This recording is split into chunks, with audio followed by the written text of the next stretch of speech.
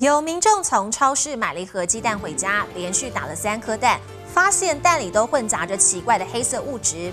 由于最近食安问题频传，也让他质疑这样的蛋到底能不能吃呢？专家点出，其实鸡蛋里不管出现血丝或是黑点，就是所谓的血斑蛋，主要是因为母鸡的输卵管出血所造成。只要斑点没有超过零点三公分，把黑点挑掉，还是可以正常使用。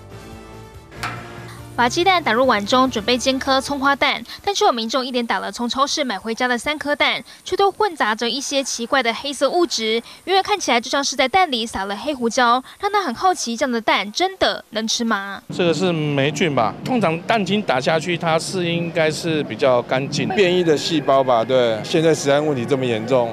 所以难免会担心。不少民众看了，第一直觉就是蛋已经发霉，或者是出现变异。但其实这种带有血渍、血丝或者是黑点的蛋，又叫做血斑蛋，主要是母鸡在排卵的过程，滤泡破裂，或者是输卵管摩擦出血，血液渗到蛋黄蛋白，被包覆在蛋里面。只要蛋品还是在新鲜状况下，把血块、黑点挑掉，把蛋煮熟之后，还是可以正常吃。千分之几的机会会有这个东西？鸡蛋是红壳的那个机会比较高一点。严重的话，可能会有那种整个有血丝在里面，可能我。血管破裂或怎样，那个血进去比较多才会这样子。原则上吃下去也不会有什么问题。下次鸡蛋敲开再发现自带胡椒粒，不用太紧张。但如果是斑点大于零点三公分，还有像是遇到裂壳蛋，则是可能已经遭到微生物污染，建议不要再吃。记者魏天华盛全报道。